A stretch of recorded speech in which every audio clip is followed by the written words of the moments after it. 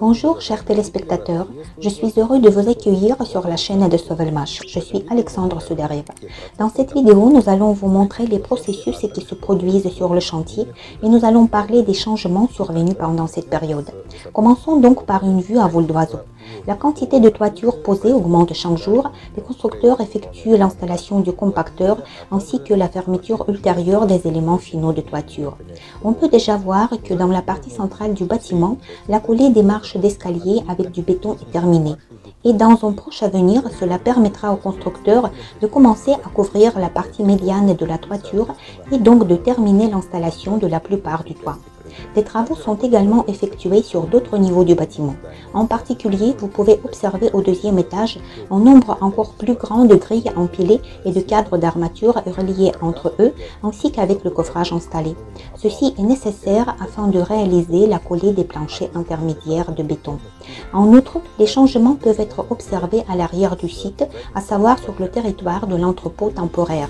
Comme vous pouvez le voir, le nombre de structures de clôture sur une plateforme spécialement préparée augmente significativement. Et nous nous préparons déjà au début de l'installation des structures de clôture. Voilà une voiture avec un compacteur pour la toiture. Le déchargement est en cours. Et quand nous avons parlé du fait que dans un proche avenir, il sera possible de commencer l'installation des structures de clôture, en fait, nous avons un peu menti car il est déjà en cours puisque les éléments du toit et l'aspect fini de la visière qui est apparu au-dessus du groupe de rampe sont également considérés comme des structures de clôture.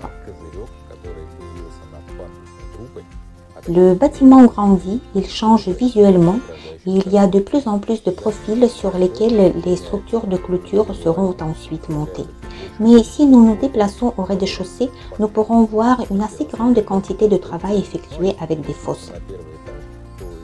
Ici, les travaux de béton sont déjà en cours et les cadres de renforcement sont attachés afin de réaliser ces travaux de béton.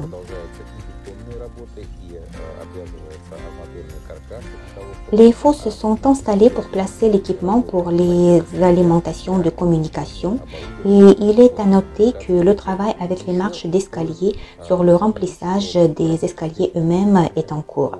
En particulier, vous pouvez maintenant observer la section déjà coulée où le coffrage est installé, c'est-à-dire que le béton est déjà coulé. Et il arrivera bientôt le moment où le deuxième étage du bâtiment pourra être atteint par un escalier fixe et par conséquent on cessera d'utiliser l'échafaudage qui a été temporairement monté. En fait, il y a beaucoup de changements sur le chantier. Beaucoup de travaux sont effectués. Ils ne sont pas si bien visibles à la caméra. Cependant, dans ce format live, nous essayons de vous tenir au courant de ce qui se passe sur le chantier. Par conséquent, abonnez-vous à la chaîne, cliquez sur j'aime, appuyez sur la cloche et à bientôt.